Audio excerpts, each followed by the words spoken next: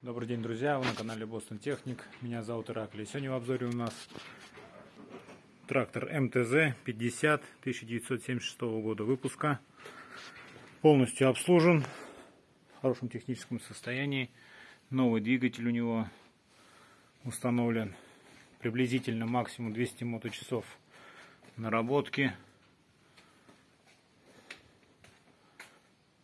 Гидравлика полностью обслужена, хорошо поднимает, опускает. В комплекте у него идет вот такой погрузочный ковш.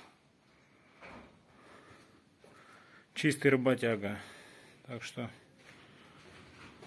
на нем еще работать и работать. Снят он с учета. С оформлением никаких проблем не будет. Документы также имеются. Все имеется.